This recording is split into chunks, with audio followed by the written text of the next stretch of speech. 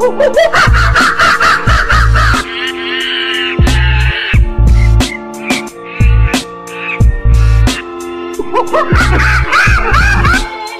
everyone. Welcome back to Bunch of Apes. I'm your host, Sam Harris. And uh, as if you haven't heard the podcast before, I'm on a bit of a, a personal journey, really, to explore one of my areas of interest. I kind of only came upon this interest quite late in life when I already had a job. So I've set this podcast up to explore my interest in human prehistory.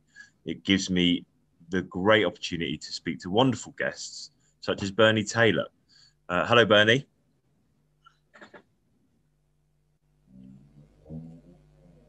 Hello.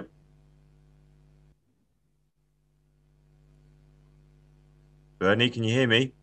If you're looking Bernie, that, that's not me. My name is Trevor. Oh, God, sorry, Trevor. Oh, brilliant. Okay, my last guest was called Bernie. I'm so sorry. No wonder you weren't answering. Do you know what? I do edit these, and I think that one might make the edit room floor. Okay. You want to go for the edit? Okay. It, it uh, might not be the first. So well, how embarrassing. Uh, okay, so I am. So I'm on this journey, and it's giving me the opportunity to meet and have some wonderful guests on the podcast, such as Trevor. Hello, Trevor. Trevor Jackson. hello. Um, and nice to be here. Trevor, you are a lecturer at the University of Oman. Is that right? I'm currently lecturing at the University of Technology and Applied Sciences in Salalah, Oman, which Okay. is about as out there as you can get in the in the educational world. I'm about a stone's throw from Yemen, and my students are largely uh, first generation uh, well, the first generation of their tribe to uh, seek higher education. I teach mostly Bedouin and Jabali students in a rural mountainous area of southern Oman. Wow. Okay. Uh, see, now I wanted to talk to you about your work and the development of shame in human evolution, but I'm going to have to ask some questions about Yemen first, I think. Sure. Um, so, okay, so you you say you were teaching the first sort of people from those tribes to receive formal education. So, are you, are you teaching in English? Oh, sure. So they speak English as their first. I teach, no, their first language is, is Arabic. Okay.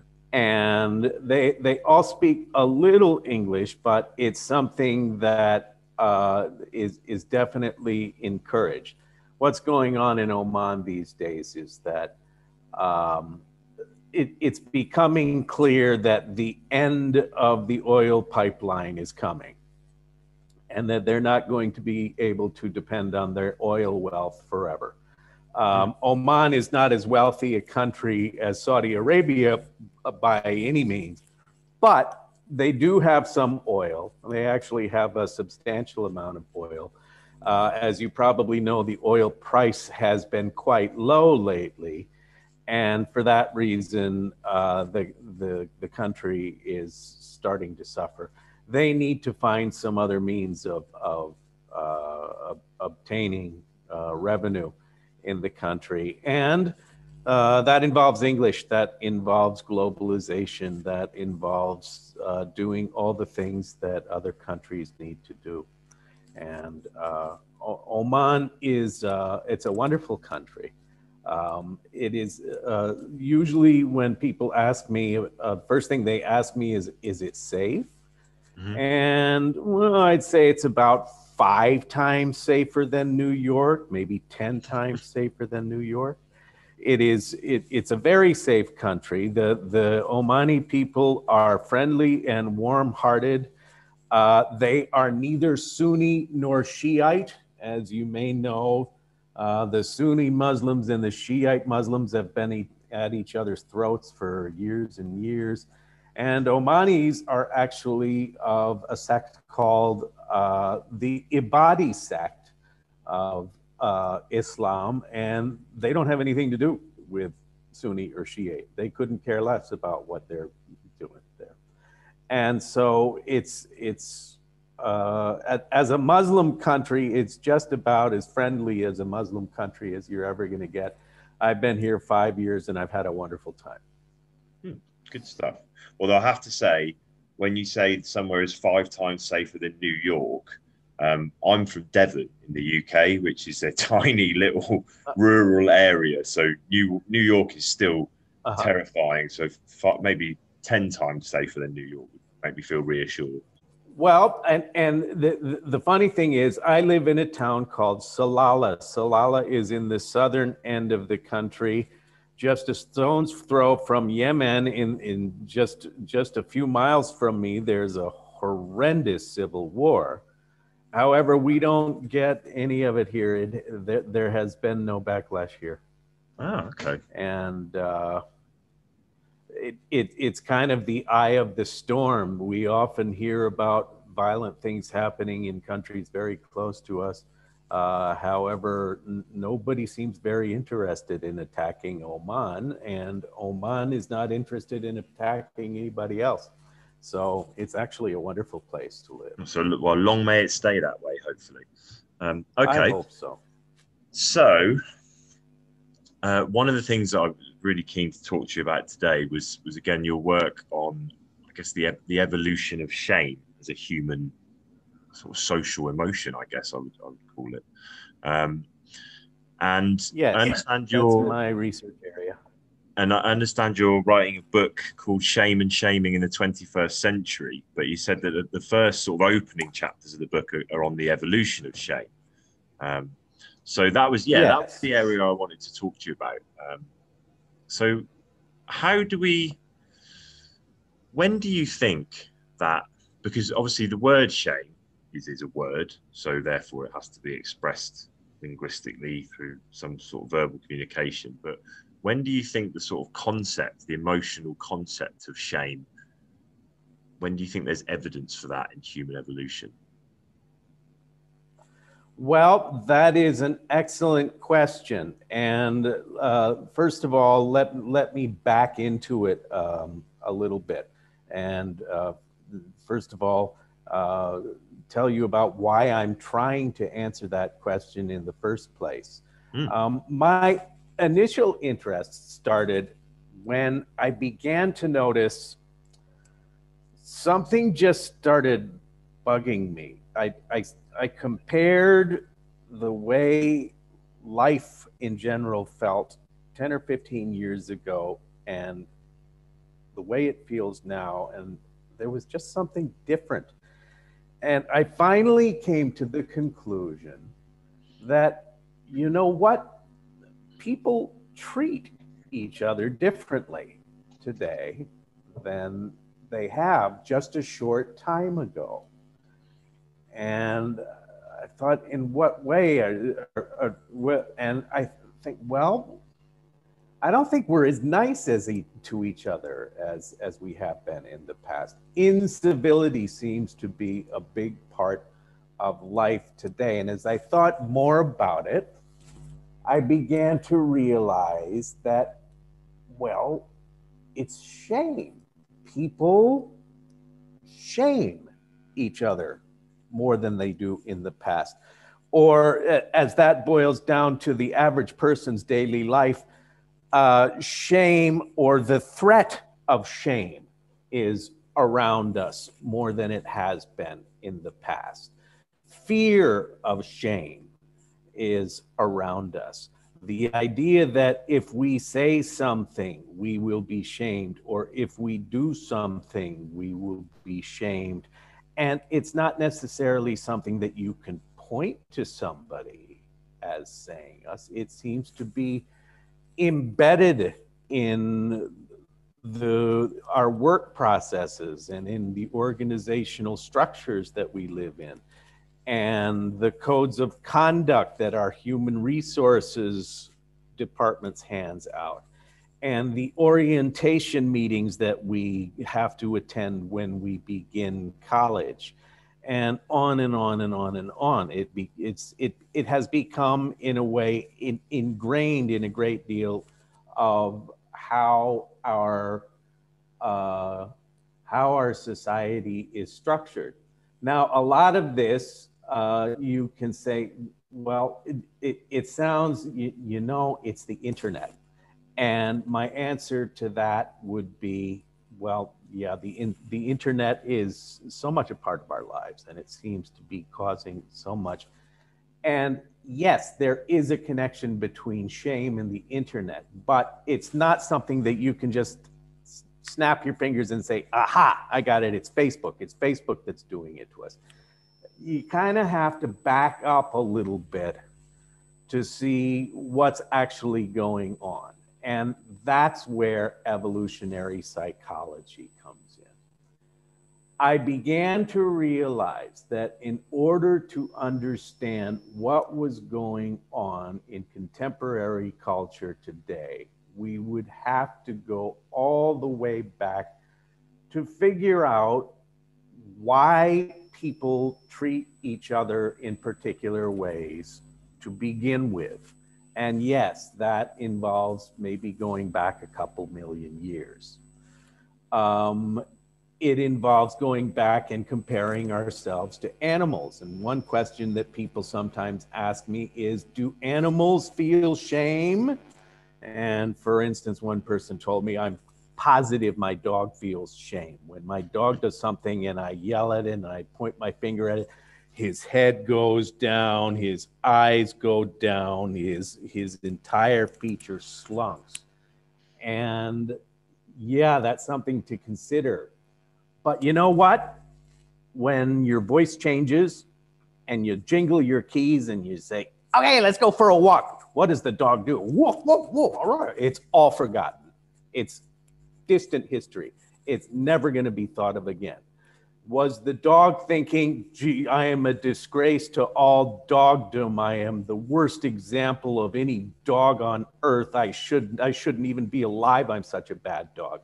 And the short answer is no, the dog isn't doing that. And once you jiggle your keys and go out for a walk, it's never going to remember anything about what your tone was in the first place. So, do animals feel shame? Well, they feel let's call it proto shame. They feel something that that is rooted in the same neural processes that human shame is, but in terms of the social complexity, in terms of how long it can last, in terms of the emotional damage that it is capable of inflicting on someone, no, absolutely not. Your dog doesn't feel that in the way a human is capable of feeling it.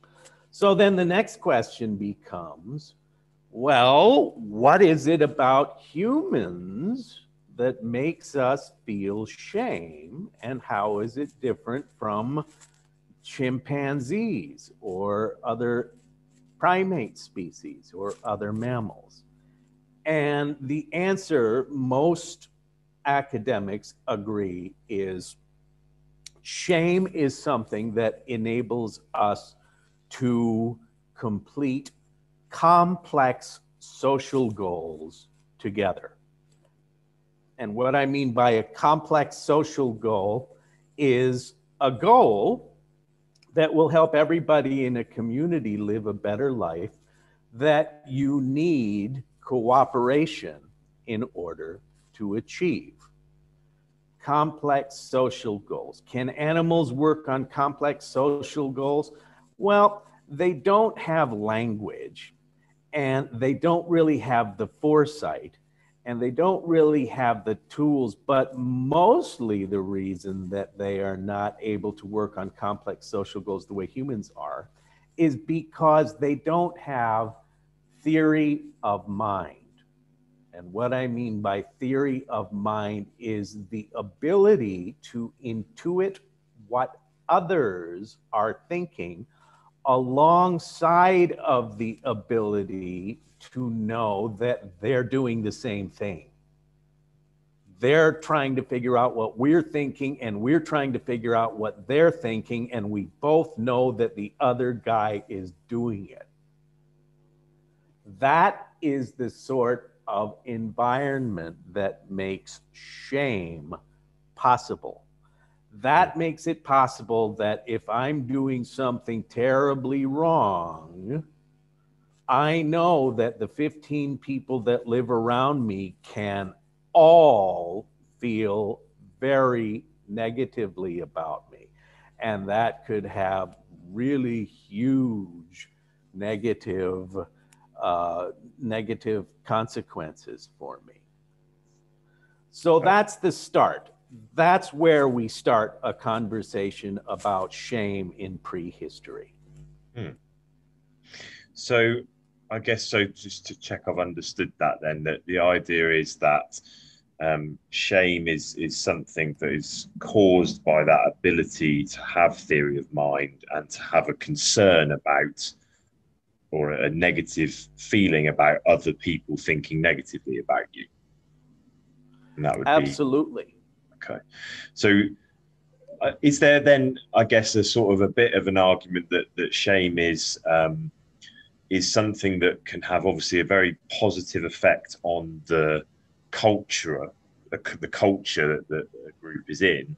But actually, if you if you are over shame, if you're over feeling that shame, then that'll have a negative impact on the individual. Well, first of all, let's talk about what shame enables us to do.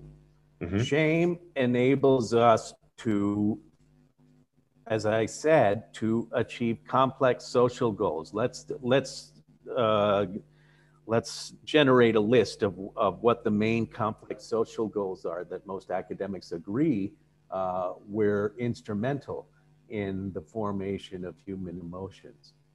Um, cooking together in a community, bringing meat home from a hunt to share with the community that then cooks that meat on an open fire and eats it together as a community. No other primate, no other mammal can do anything like that. And if you think about everything involved with just that, picture this four hunters kill a large hoofed animal on the savannah. They have been chasing it for hours and hours. It is now five o'clock in the evening. They've been up since 6 a.m. that morning, and they're seven miles away from home base where they left the women and the children and the older people and everybody that didn't go on the hunt. Now, there's nothing preventing them from starting a fire, assuming they have fire, and eating the kill right there. They're tired, it's late, they're hungry but you know what they do? They take out their stone tools and they cut it up into portions and lug the whole carcass back to camp to share. Now, think about that for a minute. That is an incredible thing to do for an animal. Why did they do it?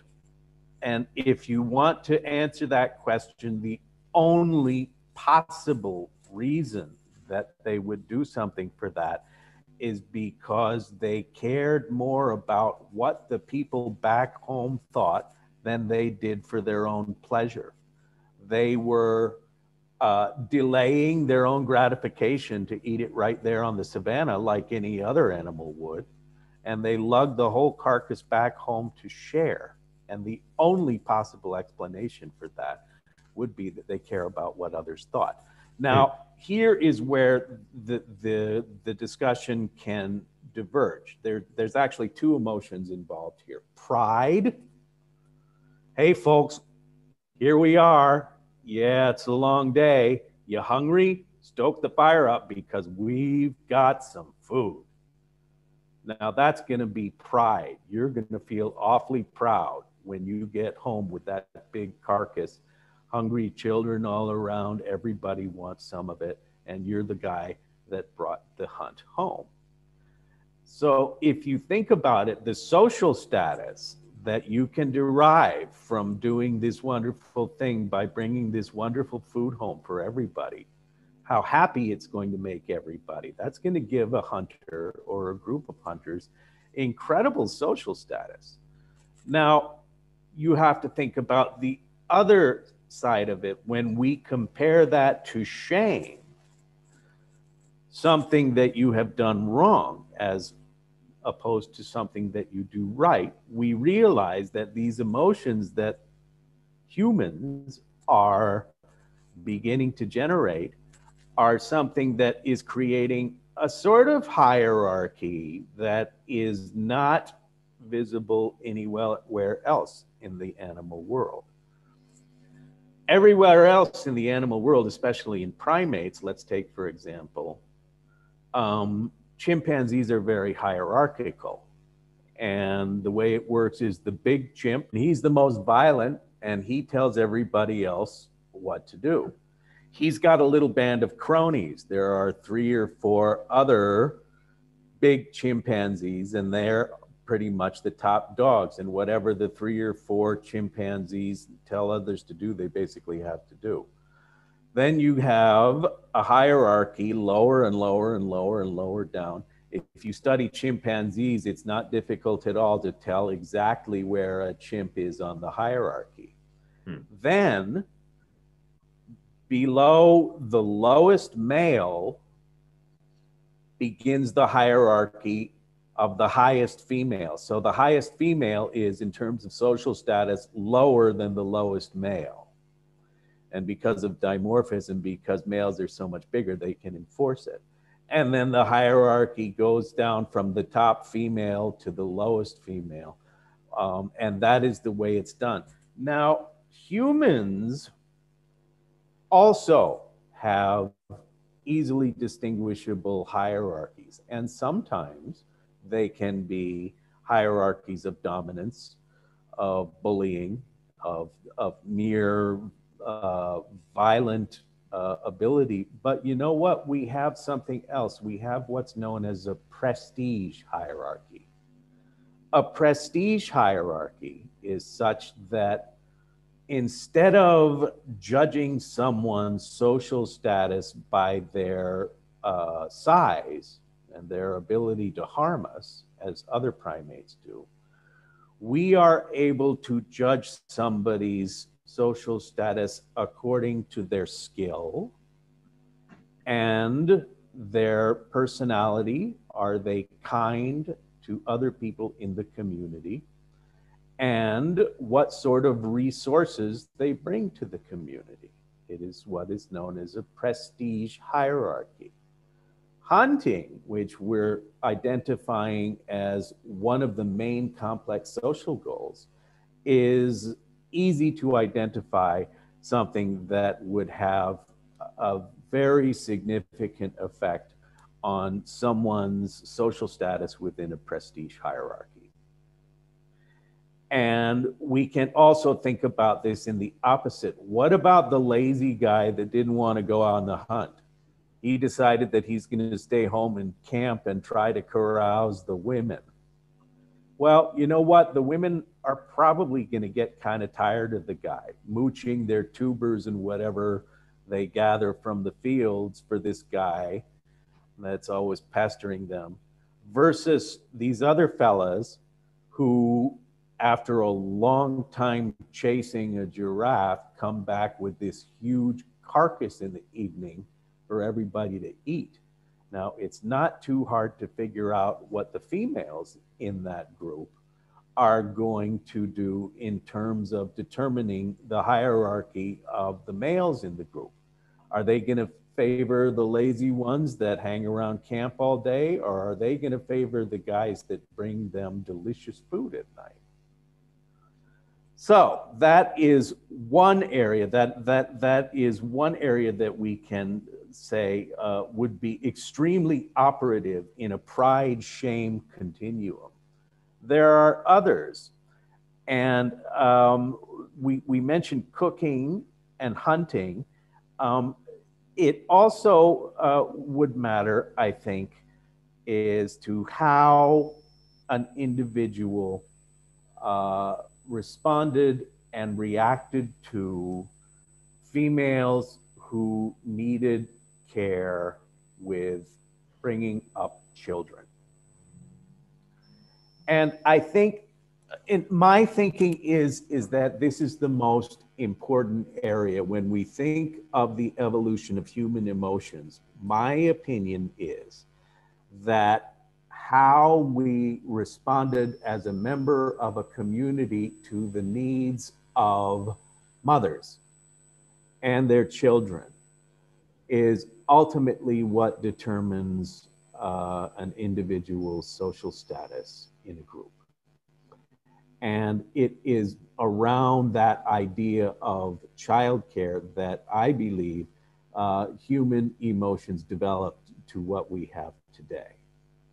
Mm-hmm. Um, shame and shaming uh, is something that grew up alongside of pride and everything that pride does for a community. And together, both pride and shame propagate us, propelled us forward uh, to become a community that one of the side effects of all of this uh, feelings for each other um, helped us to raise children and to raise them in a healthy manner uh, in which our brains could grow to be much larger than the size of any other primates.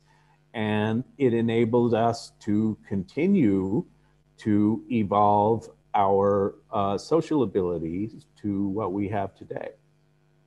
I would, I mean, I would totally relate to that, um, that idea that child rearing had a huge amount to do with tying the community together to getting people thinking more about the group rather than the, themselves because from from my understanding one of the things that differentiates us as a species is um, the something called neoteny where we're born with very underdeveloped brain connections. So we've got more of a blank canvas is my my understanding of it. So you've got um, human babies that are born with very little already in place, so they're they're more moldable in their learning.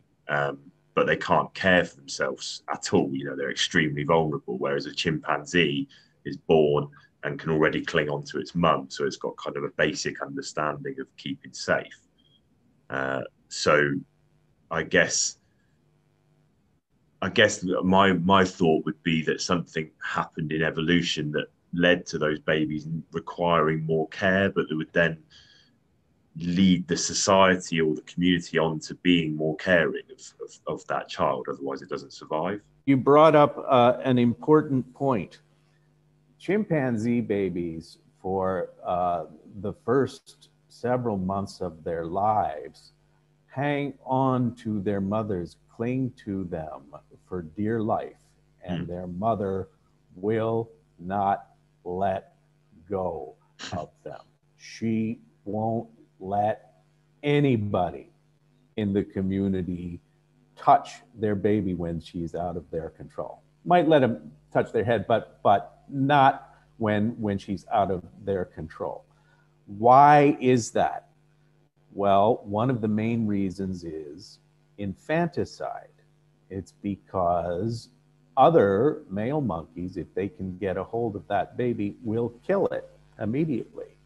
Why? Well, most primatologists believe that the reason that they do that is because they want that mother to become fertile again. She's not going to be fertile while she's lactating. So if we kill the baby, she'll stop lactating and then she will become um, uh, fertile again and they can uh, have more mating opportunities. And that's why uh, male primates kill uh, babies if they don't think they're the father. If they think they're the father, they generally won't kill the child. But here's the comparison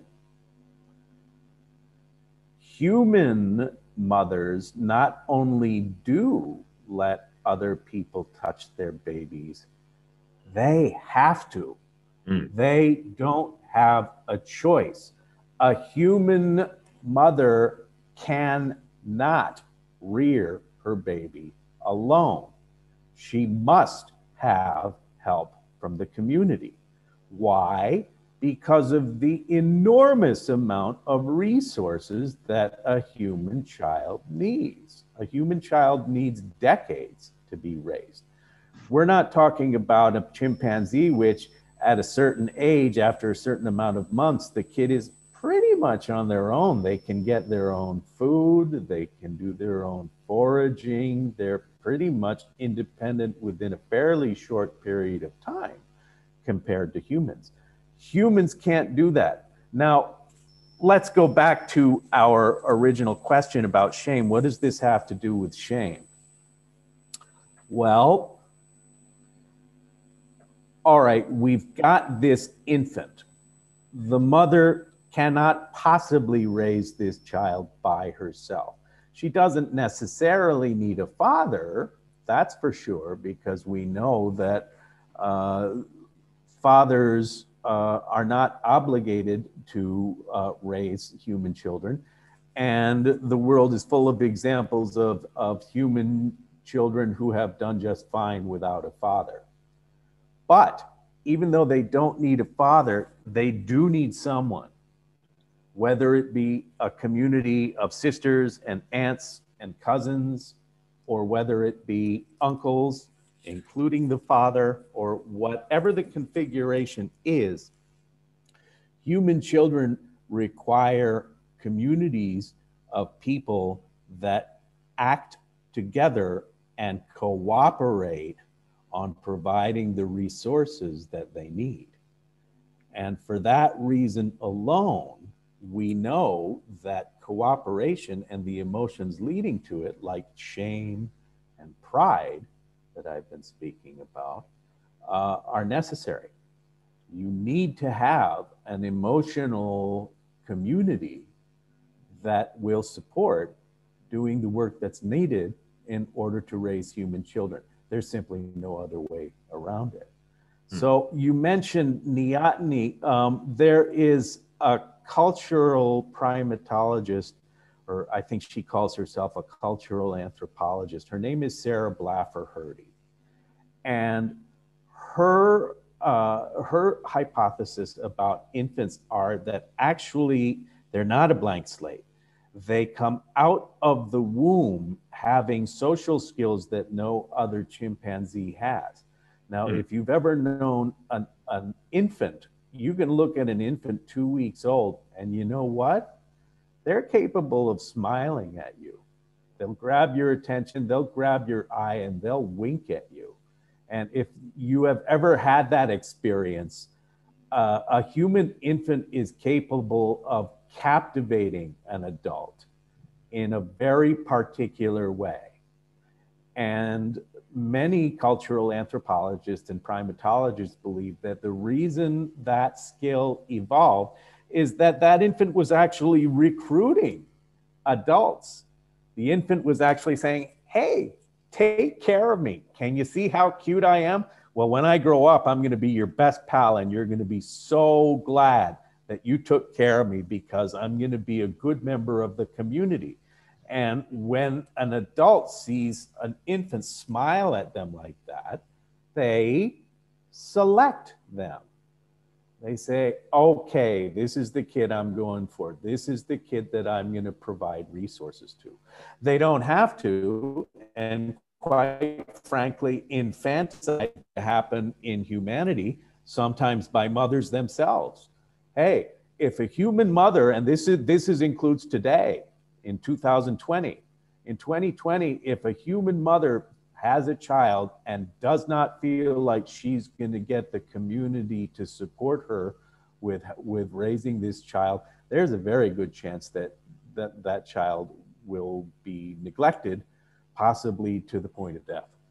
But what's and, what's interesting though about what you're saying there is is how yes, infanticide does still happen in our species, but socially, it's such a no-no. It's such a big, you know, it's it's a it's a thing you, you just you couldn't do. You'd be isolated from society as a human that killed their infants. You'd but be shamed. Yeah, you'd be shamed. Yes, yeah. Whereas in chimpanzees, you would you could it still would. be a successful male adult that kills someone else's child because he wants to profligate his his uh, genetic material more. Now, can you imagine if, let's just say that that you you were you were accused of murdering an infant, Mm. and and you you were put in prison for the rest of the of your life for murdering an infant. Can you imagine the shame Mm. that you would feel about such a horrible thing? Now that begs the question: How far back does that emotion go? And I would argue, maybe into the millions of years. Humans remember we're comparing ourselves to chimpanzees. Male chimpanzees kill infants all the time. And then they're and then they're seen the next day mating with the same mother whose infant they killed the day before. And she doesn't seem any worse for wear about it. She doesn't it doesn't seem to bother her very much That's a now horror. compare that to a human yeah. it's a horrible thing, of course. Humans, now, not to say that humans don't do it because unfortunately they sometimes do, but if they do, they know that they are they better not get caught because what they have done is going to be considered absolutely horrific and their social life is basically going to be over for good. Now, when did that start? When did humans start feeling shame for infanticide? And I would speculate that this happened in the millions of years ago. Hmm. If we look again, the fact that human mothers need helpers, they have to let go of their babies. They have to let other people nurture their children because they can't raise them without them. That presupposes that the other helpers, Sarah Blaffer Hrdy calls them allo mothers. An allo mother is an extra helper for your child. Those helpers must be trustworthy. What is going to keep them trustworthy? And again, we get back to this same shame pride continuum that I've been talking about. It is our ability not only to care what other people think about us, but also the knowledge that they're doing the same thing and that everybody is working on the same project of keeping adequate social status up, which in when we look at the entire community together in concert, that keeps everybody's behavior up and that keeps the babies happy and healthy and well fed. Are there not, um, though, examples of primates that will share childcare responsibilities? Because I'm sure I've heard of, of, you know, members of the same family looking after a, an infant of the same species. So is that not still a? Could you not argue that primates at least will do actions that are for the benefit of the group rather than just the self? Um, including perhaps childcare? It depends on the primate. Um, in terms of monkeys, monkeys, or rather in terms of chimpanzees, chimpanzees are rather despotic. And in terms of males assisting with childcare, no, almost never. There, there's very little interaction between chimpanzee males and and uh, offspring. Chimpanzee females are slightly more egalitarian, and you can expect a bit more solidarity in chimpanzee female communities, but they're still capable of killing uh, the, their, their peers' uh, children. There's actually a very famous case that uh, Jane Goodall uh, wrote about. Um, a, a mother and a daughter named Passion and Pom and they uh, were seen by Jane Goodall uh, for reasons that she still doesn't understand. Uh, Passion and Pom killed and ate one of their uh, colleagues, one one of the their uh, a, a, female that uh, they were in the same community with. They killed and ate their baby, and she still doesn't understand why. Hmm. Um, there are uh, primates that are less despotic. And again, I'll refer to Sarah Blaffer Hrdy, um, who's done a lot of research on this. And um, she uh, mentions the golden lion tamarins, which is uh, a New World monkey living in the South American rainforest, high up in the trees and they're little guys. They're just, they're about as big as squirrels, but they have an instinctual urge to feed other young golden lion tamarins in the same community. So, for example, the men, it doesn't matter if they're male or female. Um, it doesn't matter if it is their uh, offspring or someone else. They just have this reflexive action to feed youngsters. Whatever food they have, they will share it. And the difference is between them and humans is what they're doing is entirely instinctual. It is a reflexive movement, and the the species has evolved. Um, mostly, the reason that they figured out is that the mothers have a tendency to be very irresponsible, and they'll just take off one day, leave the kids, and join another group. Um, and the rest of the community will take care of them. So the way the species evolved is it, it, that it evolved a, a, mechanism by which even if the mother wasn't around, there's this reflexive action in all the other adults to just feed children anyway. And the golden lion tamarins are doing great um, as a result. Um, but I think the thing to stress about this is that it's an instinct. Um, a great deal of attention lately has been placed on human fathers. And here's the thing about human fathers is they may be fantastic providers. They may be absolutely wholly and completely devoted to uh, providing the best care that they possibly can to their children. And there's other fathers that, uh, as soon as they conceive, are off to the next adventure and you'll never see them again. And human fathers come in both varieties and everything in between. Now, this has caused a great deal of discussion.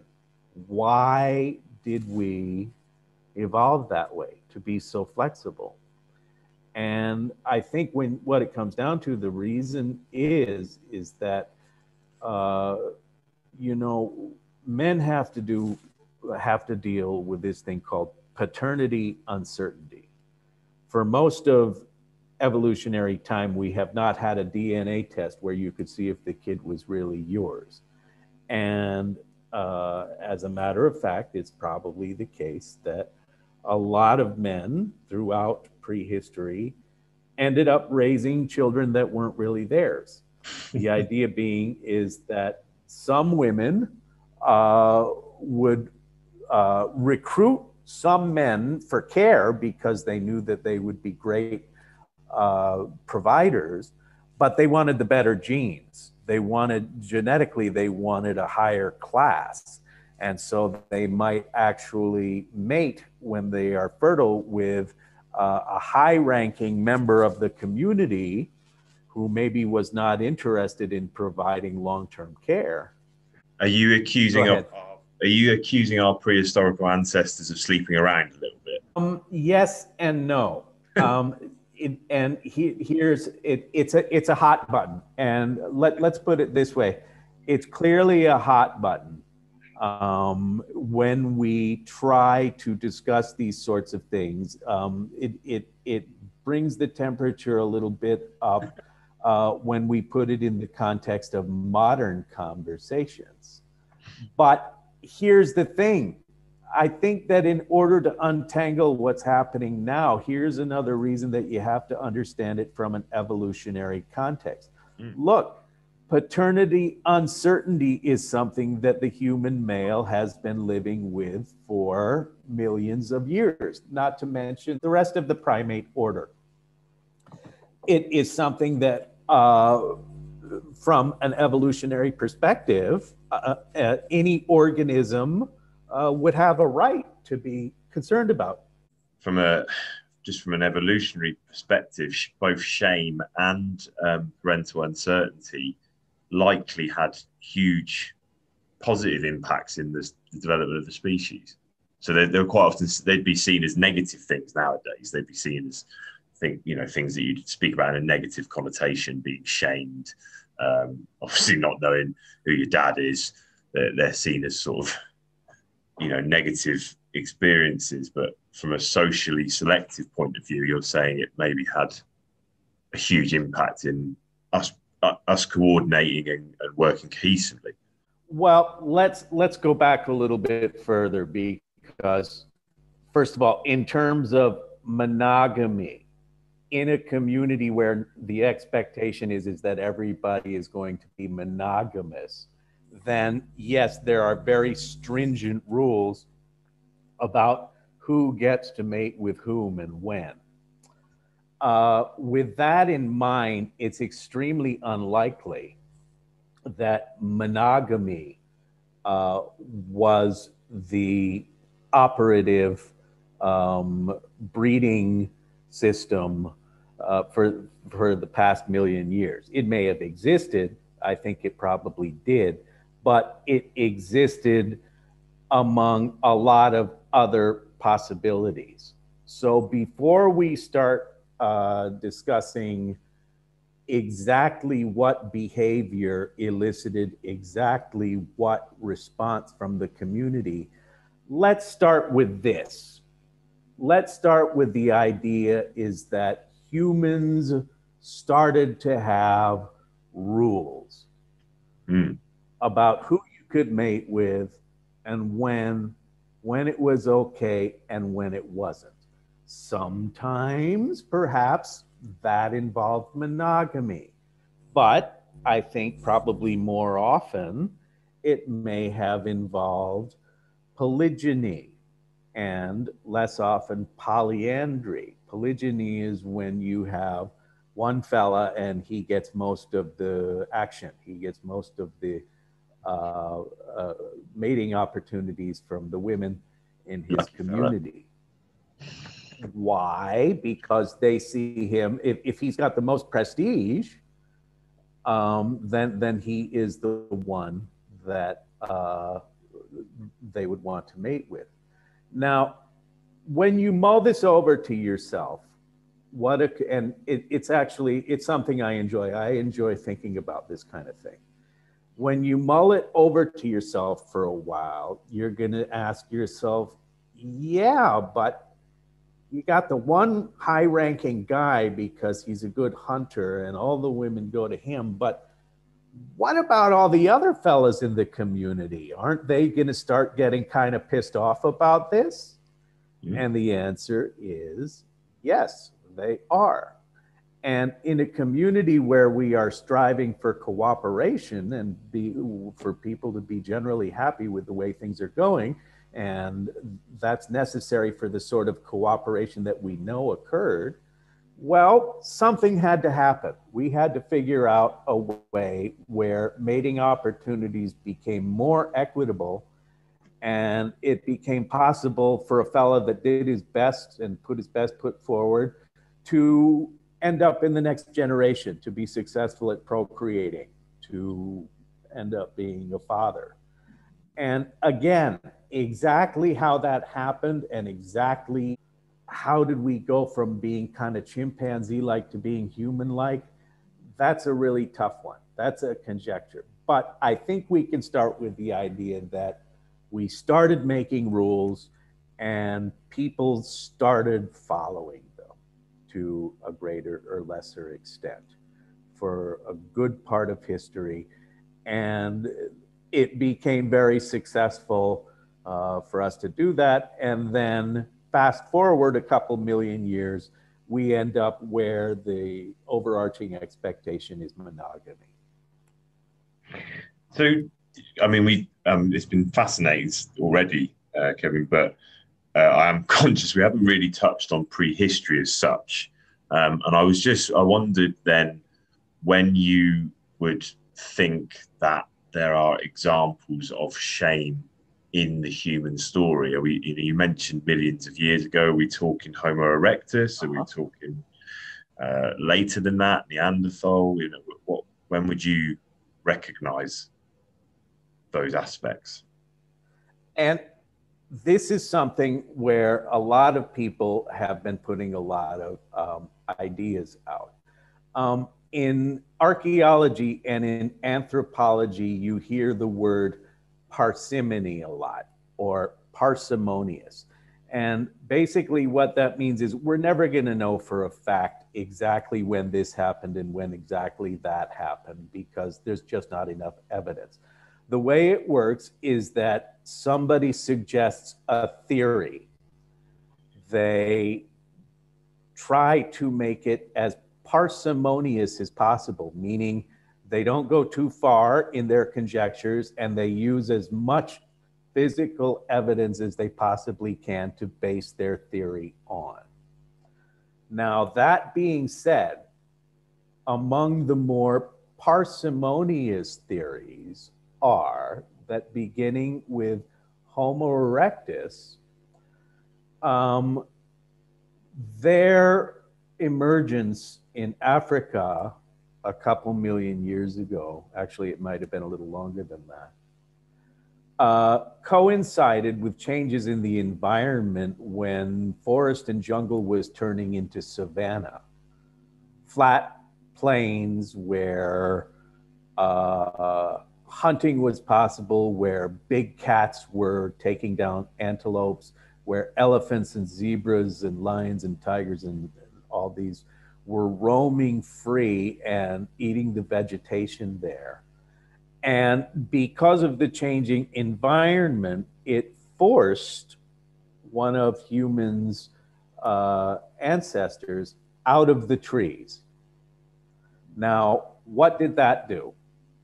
As humans were forced out of the trees because uh, their environment was changing and their way of life was changing, the way that they were get, getting food was changing, they needed to begin cooperating you see the trees gave safety, and they still do, to primates.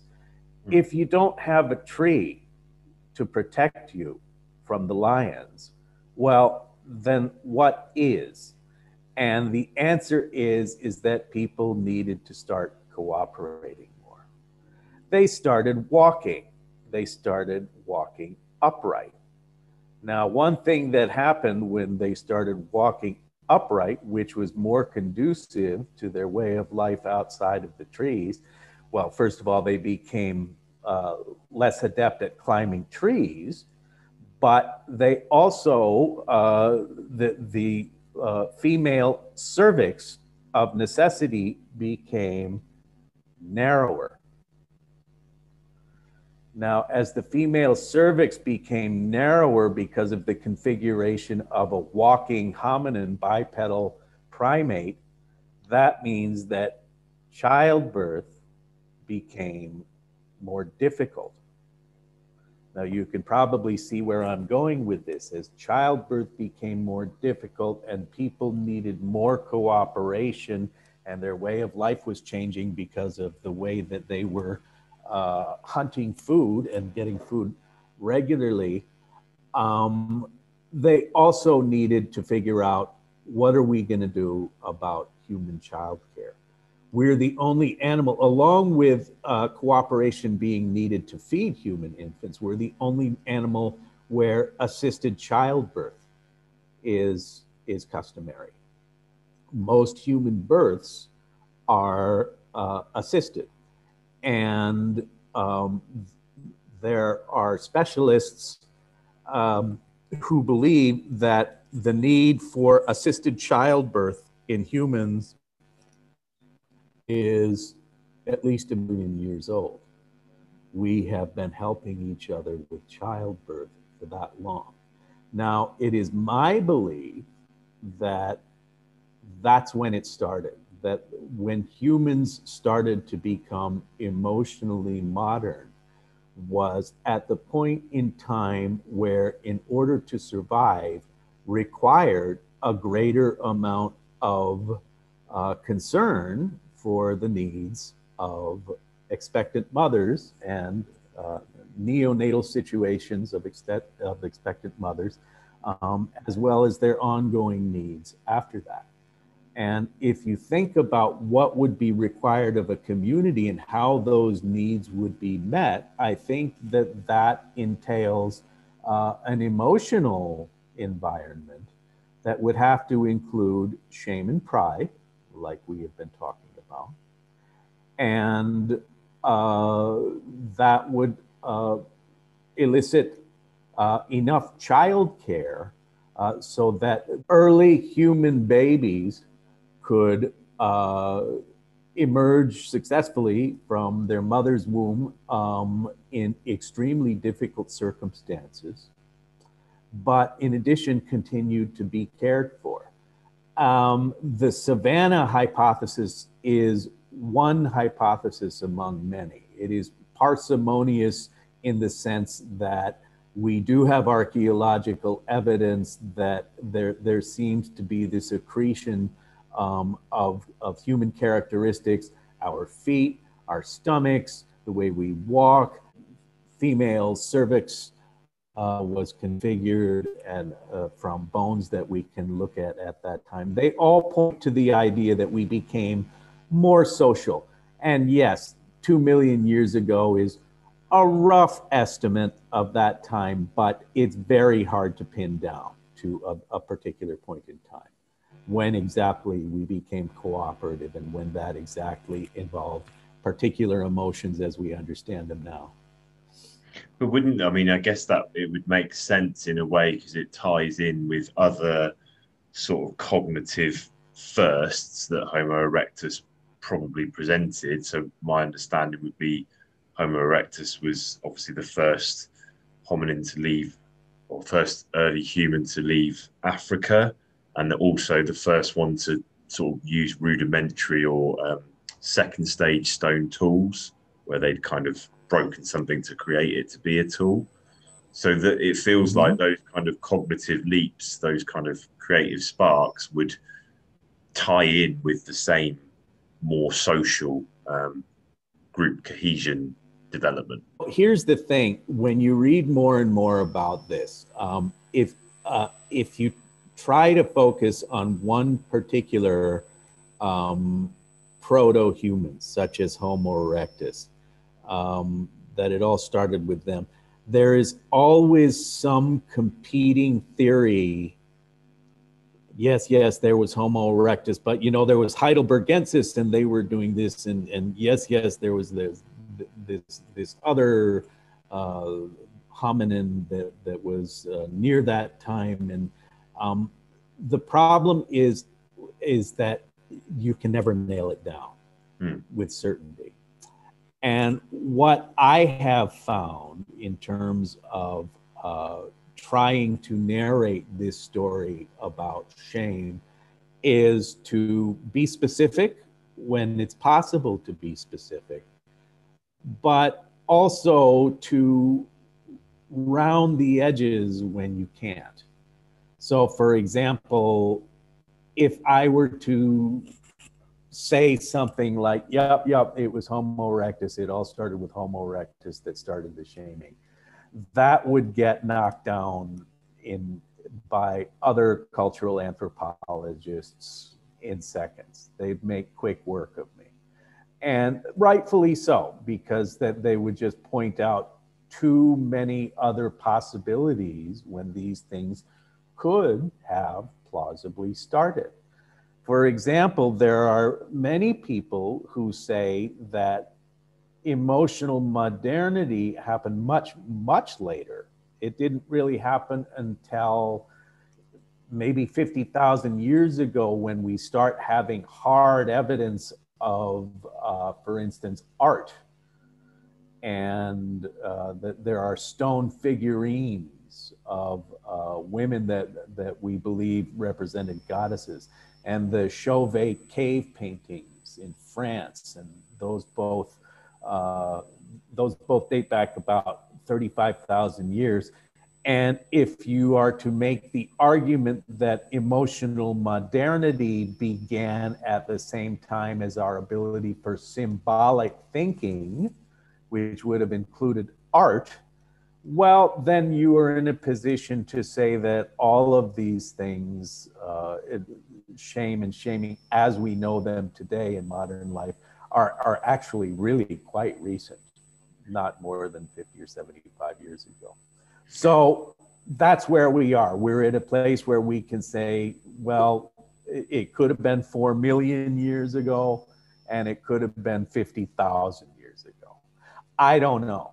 And the, the way I'm trying to structure my own narrative around this is to, uh, well, is, is, to make all possibilities uh, feasible.